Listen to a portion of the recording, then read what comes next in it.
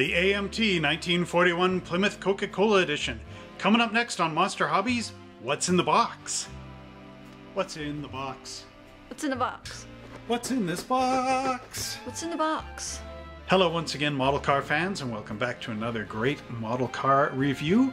And this is a special kit because for a limited time you can get it right now at Monster Hobbies by visiting our website at www.monster-hobbies.ca. I'll leave a direct link to this model kit in the description below. It's a great one. I've built this one many times in the past. Originally it came out in 1975 and we'll take a look at some of the box art as well as a model kit that I built of this car. It's really cool. That's coming up toward the end of the video. So for now, don't forget to like, subscribe, and share. Pound that notification bell so that every time I make a new video, you're the first one to see it. So without further ado, uh, let's go down and see what's in the box.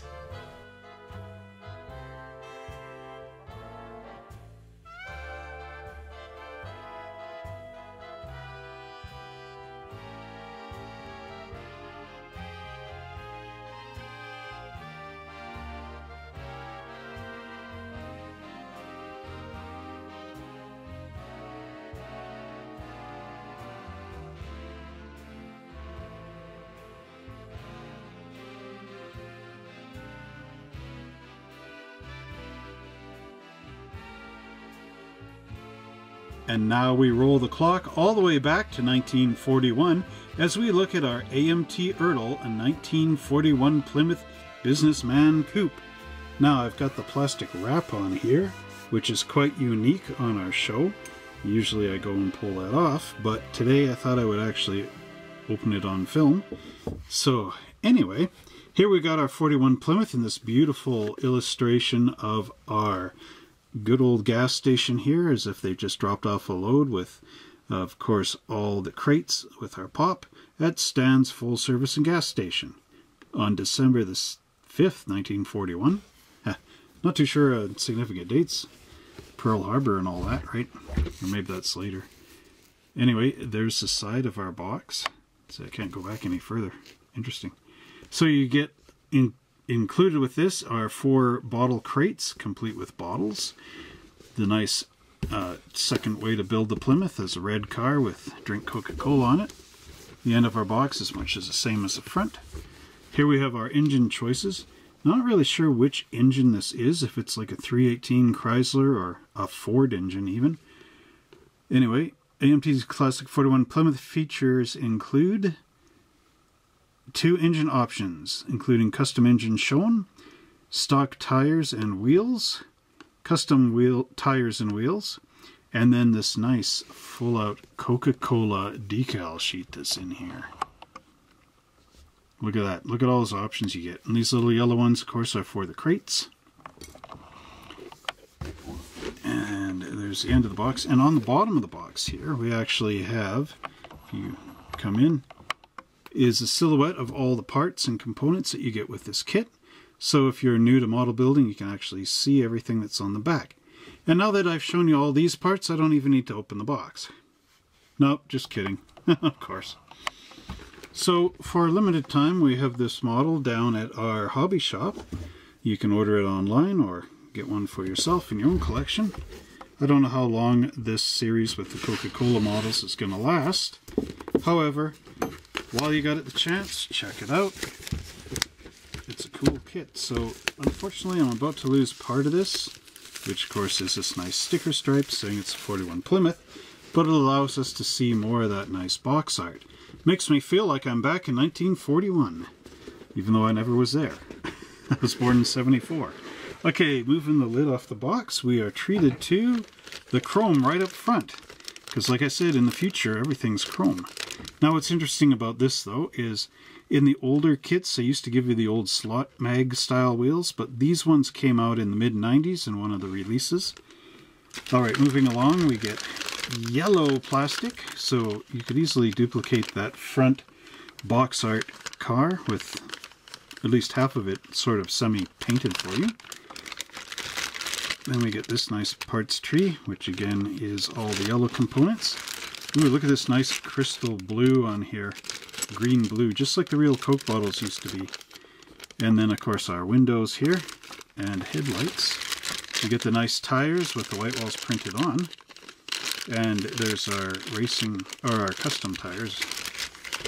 And then here's our engine components and everything else. Two engine blocks, the Chrysler Straight 6 and that mysterious V8. And then what else is in here? Uh, our Coca-Cola decal sheet, which we'll take a look at later. And our instructions. Very simplistic. So let's remove all this clutter in here, and when we return, we will actually take a look at all the components.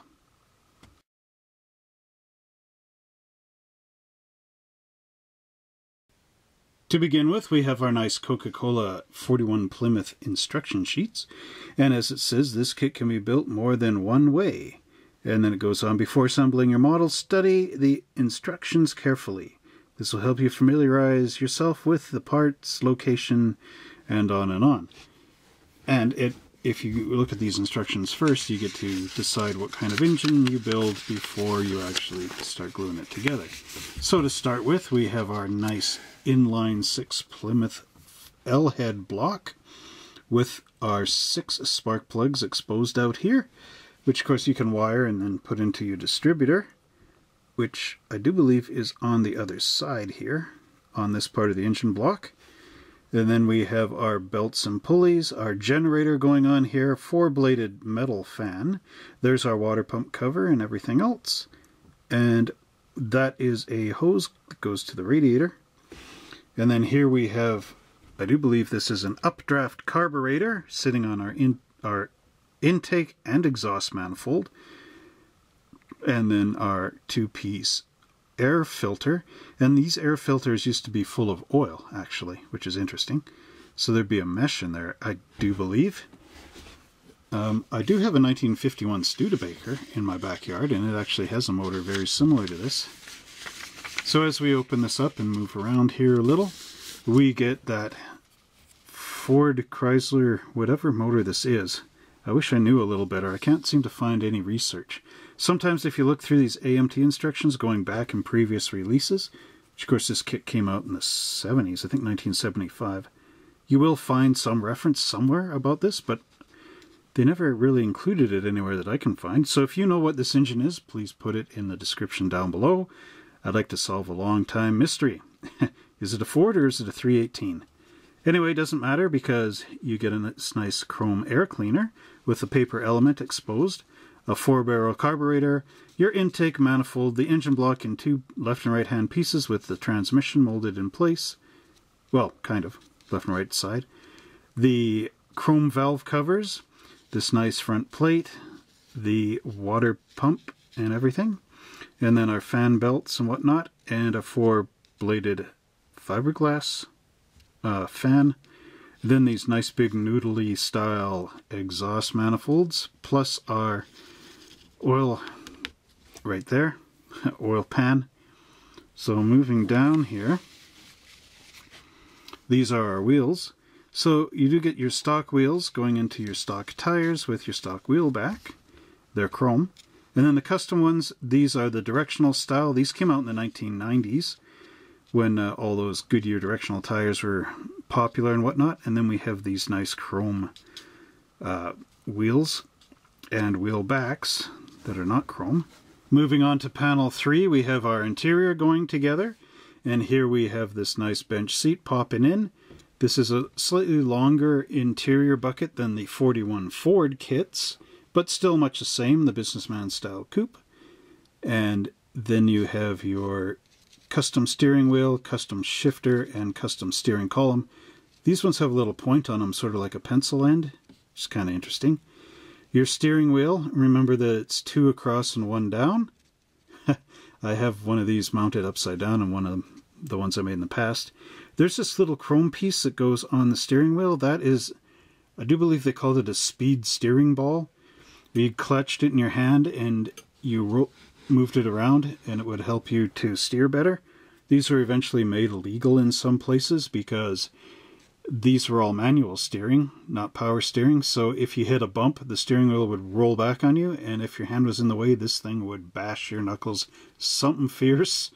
So eventually they became illegal.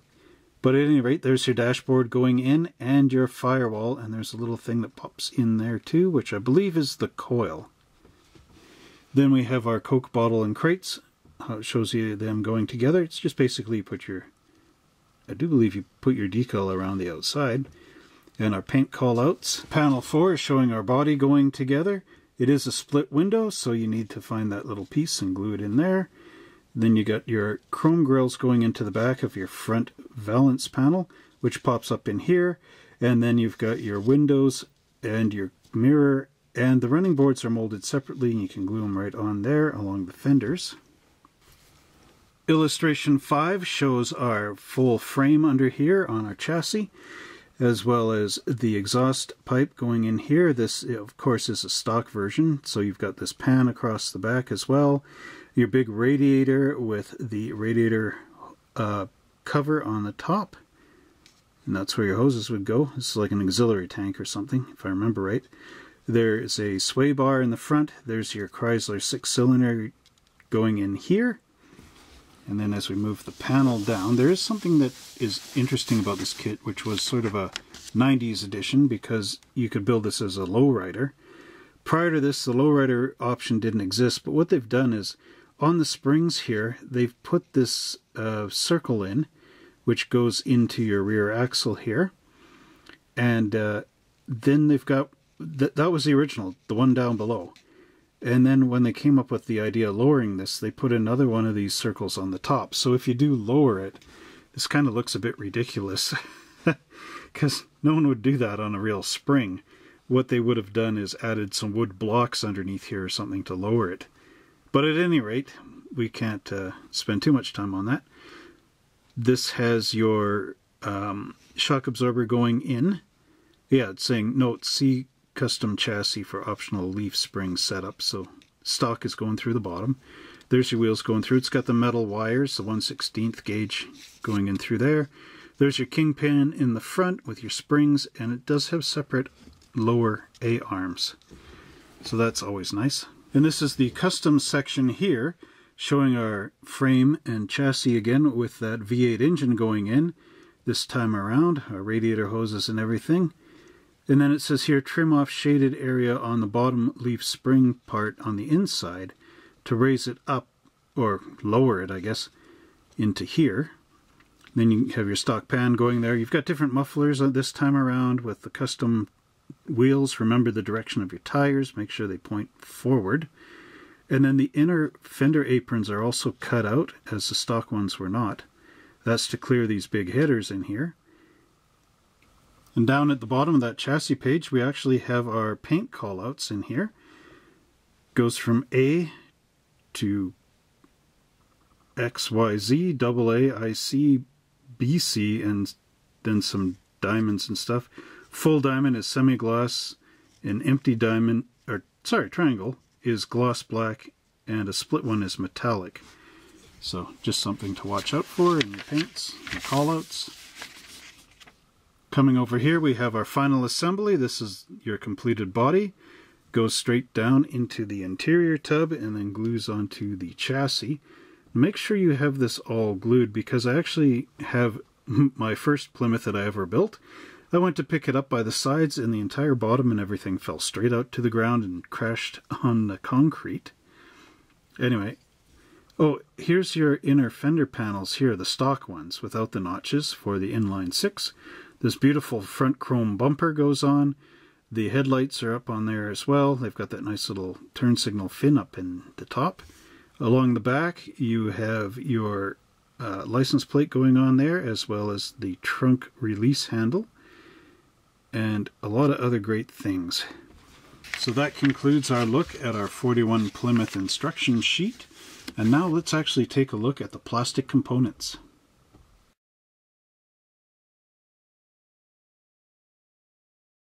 And here we have the body of our 41 Plymouth Businessman Coupe. And it is quite a nice body, even though it's molded in yellow.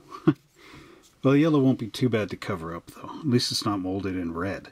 But at any rate, there is a line here and a line here, which I know a lot of people think is a seam line. But in actuality, that line is on the 41 Plymouth. And what it is, it's because back in the day when they were stamping metal components, they couldn't stamp out something, you know, perfectly all the way across like this. That's very deep for a stamp to go into, steel stamps. So what they would do is stamp the fender, and then they would stamp a piece like this, you know, and they would attach them in underneath and would have either a piece of rubber or something in between here on the real car so that it wouldn't rust in between the two pieces. So this is actually supposed to be on there, much like I do believe the 41 or yeah, 41 Ford has something like this on it too. And just to prove the that that's a true statement, there's also that bit of a ridge along here on this edge. So just so you guys know, so that you don't sand this smooth, and because I made that mistake too. uh, but if you actually look at a real 41 Plymouth, you will note that line is there. So just lightly sand over the top to get rid of the seam line. But don't get rid of the line itself, if you know what I mean. Know what I mean, Vern? Remember, Ernest? So this has a nice trim on the sides.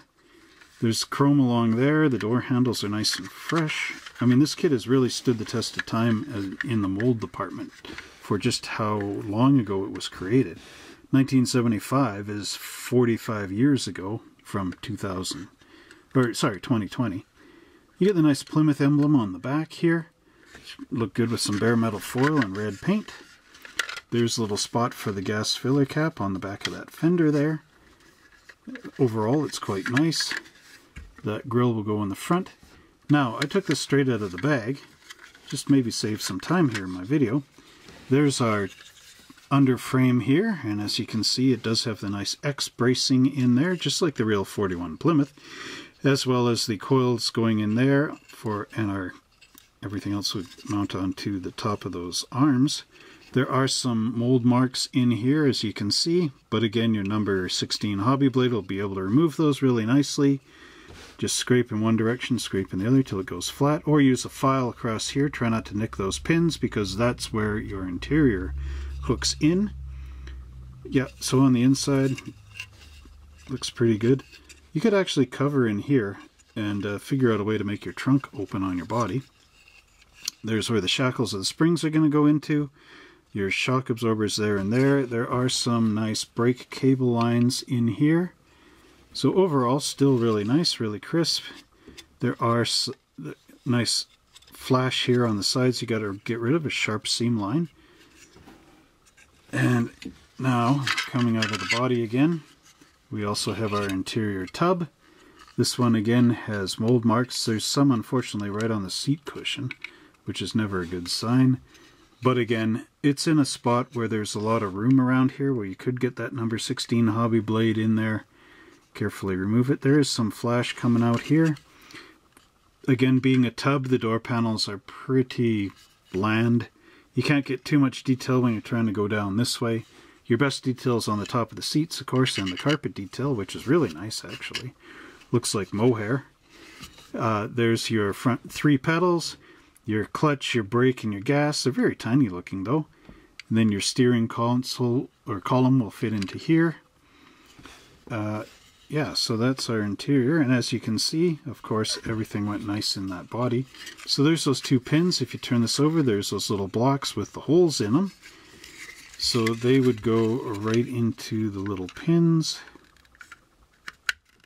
You can hear it click into place. And then our body would drop in like this. So remember to look where this thing is going to go together and then glue it where it's supposed to be because unlike me that one time see I picked up my 41 Plymouth like this and everything fell out the bottom and because the interior and everything was all built up and it had the metal wheels and all the rest, it just did the dead drop. so, like I say, make sure you glue this all together really nicely. So the first bag of yellow components that I'm opening up here has these three parts trees in it. This one has our stock components. So there's those running boards that we need along the side of the car. Our hood with a nice sunken spot in here for the chrome. It's a actually sailing ships is the chrome emblem. And then there's our inner fenders, fender aprons, pardon me, our wheel backs, and our stock steering wheel. Remember, this part of it goes down. okay, and then here we have that grill insert, or the grill shroud. A bit of flash on there. There's a lot of little details in here that we'll have to paint. There's our license plates, our dashboard. Here's our rear axle, and then there's the rear springs. And if you're going to build this stock, you know, cut this off and reshape it with a file just so it looks normal so you don't have these funny circle things sticking out in the middle of nowhere. And then these are the custom wheel backs. There's three here, so somewhere else in the kit is the rest. There's our front bench seat, which is quite nice. Our lower A arms, then the coil springs, a uh, brace across the front, or sway bar, and then we have our steering here. That's our steering legion. Notice how it's got these pivots in here in the triangular shape. That's very typical of back in the, that era. There's our kingpins in the front and our shock absorbers. So let's just take a look at some of these quickly, a little more detail. So as you can see there's some nice molds around, or molding I guess on the hood. Underneath you've got the actual braces that are correct and then you've got these three mold marks which you have to scrape down. The uh, running boards here have mold marks underneath, so you might want to run your file across those and get them nice and flat before you glue them on. Then here we've got some more mold marks in there on the inner fender aprons, which you'll have to get rid of. See the nice detail on the wheel backs, drum brakes all the way around. So very nicely done. Again, you got to remember this is 1975, so there's a lot of flash squishing out at this point, even though AMT Round 2 is doing their best to make sure this doesn't happen. It still can. There's a little Plymouth emblem right in the front. Again, there's the uh, ridge here that that's supposed to be on there. The dashboard, it's quite nice detail. Jay Leno actually has one of these Plymouth Businessman coupes. It's a dark blue one. So if you watch Jay Leno's Garage, look up 41 Plymouth Coupe. Actually, I'll leave a, a link in the description up here. How about that? Or a card, I should say. Pardon me, a link. Well, it's still a link. Missing link. okay, anyway. There are mold marks on the back here, so you'll have to deal with them. There's actually six. One, two, three, four, five, six. So yeah, you need to scrape these out because those chrome inserts are going to pop in there, so they have to sit flat. On the back of the license plates, there's a couple of bumps. I think you're supposed to leave those on there just for location. Location, location. And as you can see, they've got those funny little lips on the inside of those springs. Anyway, and then here we have the one with our seat. Nice button detail on there. Very well done from AMT of the past. And again, very nice. So let's just bring our parts back out here where we can give them a round of applause. Oops, before we move on to the next set. Our second parts bag actually contained one, two, three, four parts trees. And these ones are, of course, our engine and driveline stuff, as well as our firewall. So here's that nice V8 engine again. This is a very nicely detailed uh, motor, of course. Many parts. A little more simplistic than later AMT kits, but for 1975 this is quite neat. This, I do believe, came out as a street machine version in the later 70s. There's those noodle exhaust pipes again, go, which should be mounting onto these little exhaust or uh, mufflers, pardon me. Then here's our inner fender aprons with the cutouts for these to fit into, as well as our custom steering wheel, steering column here, and radiator hoses. Over on here we have our stock components, the radiator. This is a little piece for the uh, split windows. There's a secondary radiator tank.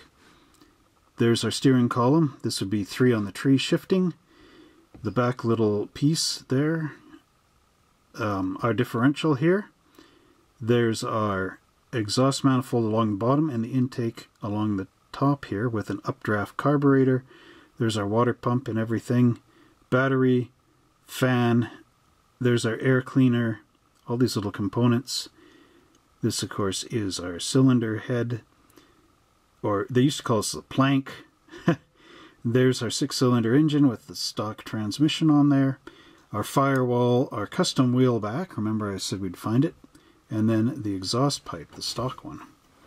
So let's just take a look at these a little closer up here. So you can see the nice motor. There, they do have the frost plugs on it.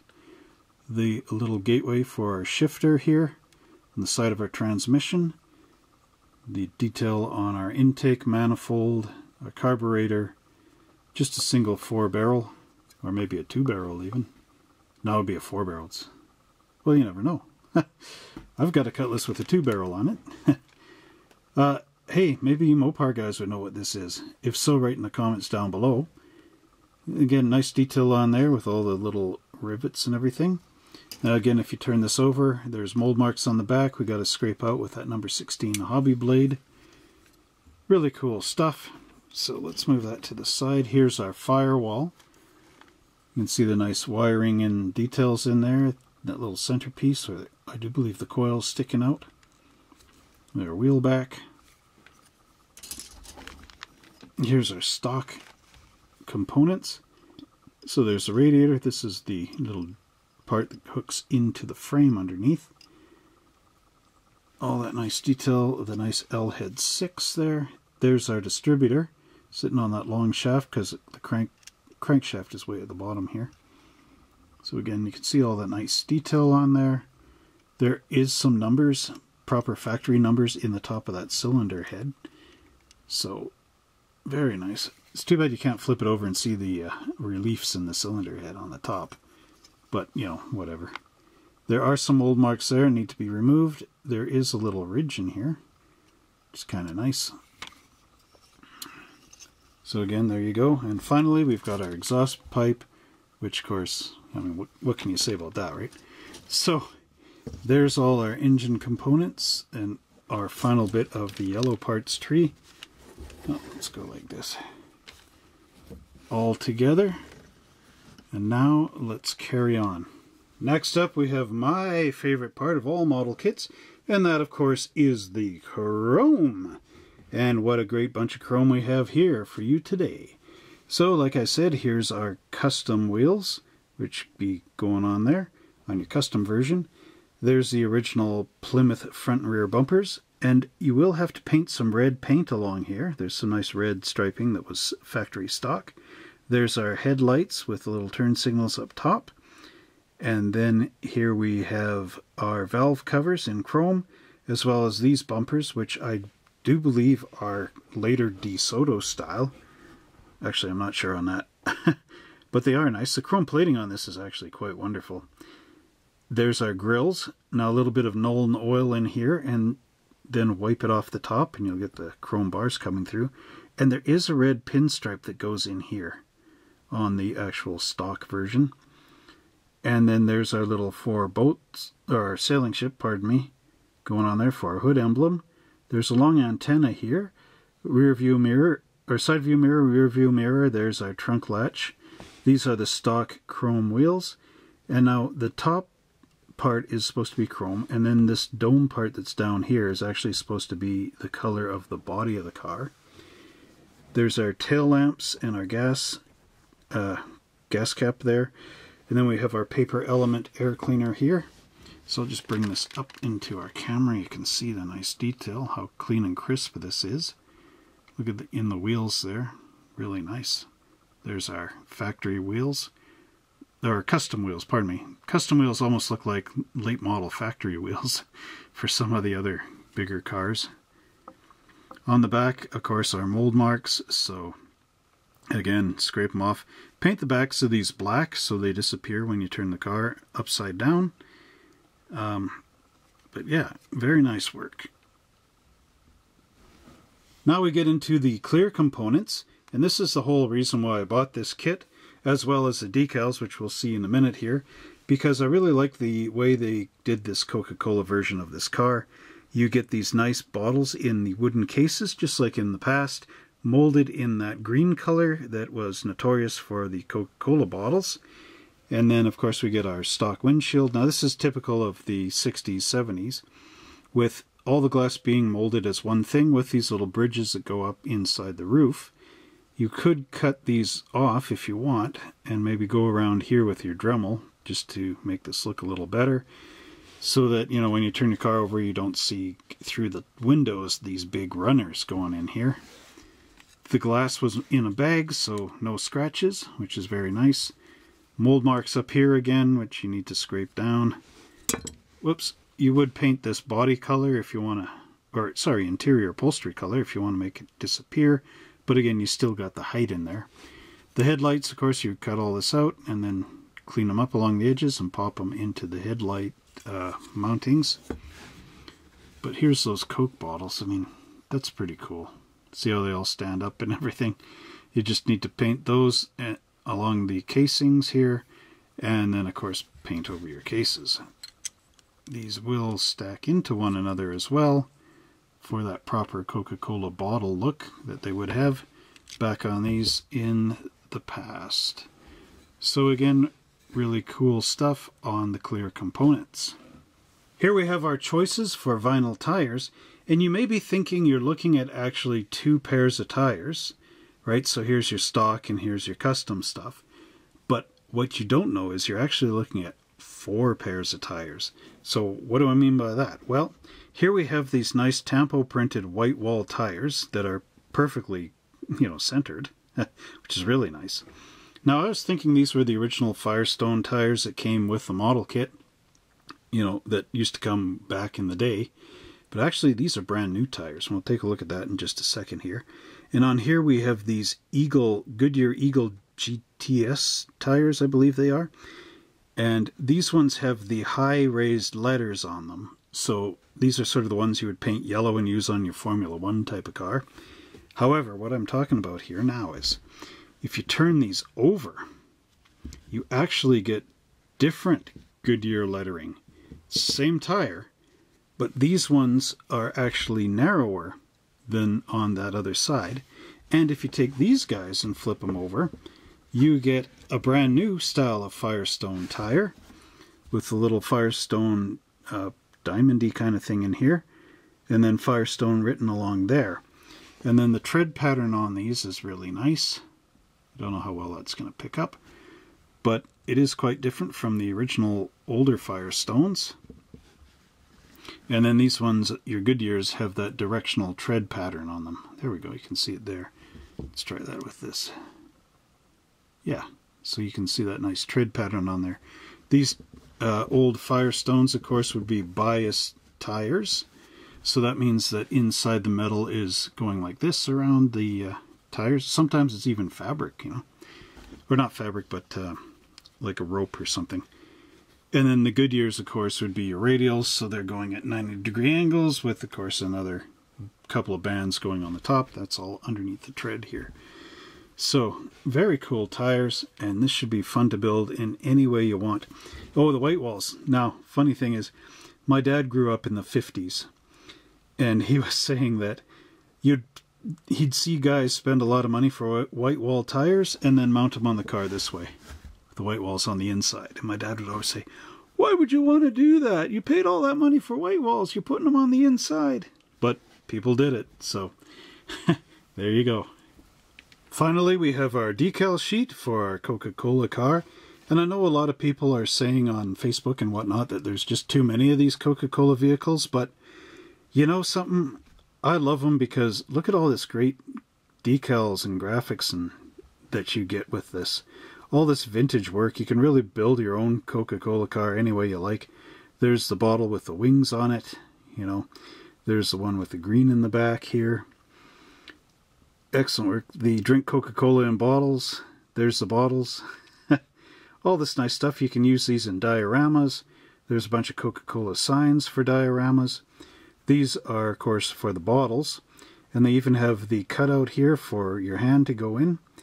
Got Michigan license plates as well as California ones for 1941, and then red and white Coca-Cola license plates, which with the other decal sheets in these series, you can switch them so you have red on both ends, or white uh, actually, this Plymouth only has a license plate in the back, so no sense in, you know, two of the same. But anyway, great a decal sheet and offers you a lot of options to make anything you want into a Coca-Cola vehicle. Here we have our 41 Plymouth once it's all put together.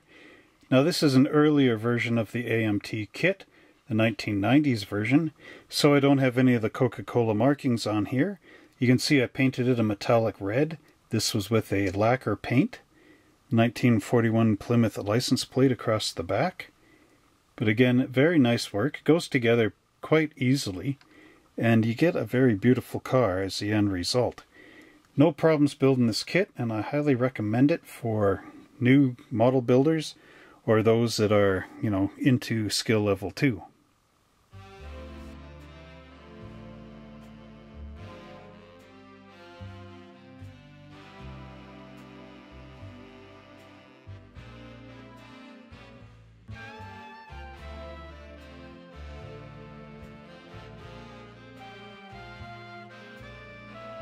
And that completes our look at the AMT Ertl 1941 Plymouth Businessman Coupe. Now, if you've built this great model in the past, please let us know how you liked the build, and please share your photos with us on our Facebook page in the link below. Well, I hope you enjoyed that great review as we got to see the AMT 1941 Plymouth Coupe in the Coca-Cola markings with those really cool Coca-Cola bottles. And if you would like to get a copy of this model, don't forget to check us out at www.monster-hobbies.ca. It'll only be around for a little time, so make sure you are the first one to get it. And don't forget to like, subscribe, and share this channel with all your friends and family. Pound that notification bell so that every time I make a new video, you're the first ones to see it.